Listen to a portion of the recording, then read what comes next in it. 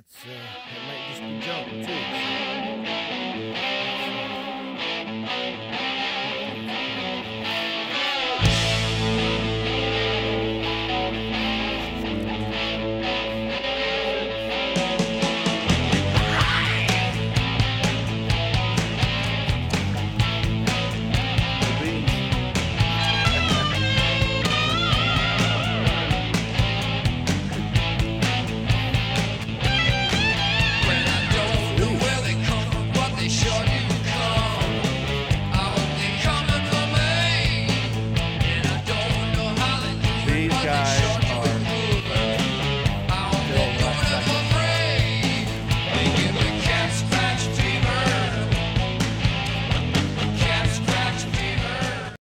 All right. Home site on this corner, 1857. Hammered the corner pretty good. I, you see the Swiss cheese. All, it's getting dark and we're walking back to the car and good old Jerry Bob's dragging it. We got a banging 91, 92, 89 signal right here on the way out. We haven't found a coin yet. It is.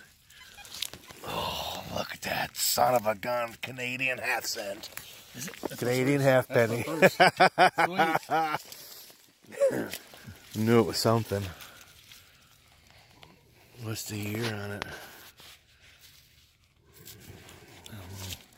I don't have a light with me. I don't need it. Yeah, Looks good. Hold on. that's awesome. I got my flight. My Mine won't come on while we're videoing. Look at it, Jerry. See the horseman? yeah. Sweet! I'm going to say 1852. Where's it at the other side? I don't know. Your light's blinding me. It's got to be. You don't see it.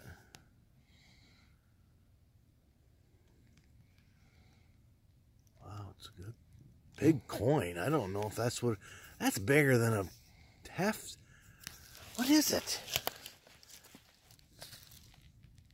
Token.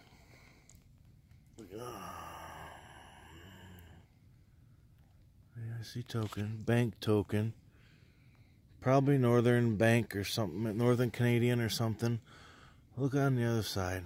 There, there's the year down Yep, there. right there. 31, 54. Yep. Fifty-four. Let me see that. That's bigger. You gotta figure out what that is. Um, no, uh, of Upper Canada. It just seems too big for those ones. Oh my. Big token. What's that I've say? been right away. Early drop. You know. One penny. That's why it's a Yours one penny. Yeah. It seems huge.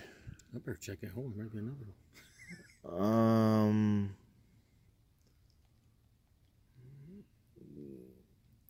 Yeah, there's no zero. There's no O in half, so I see a O N. It's got to be a one.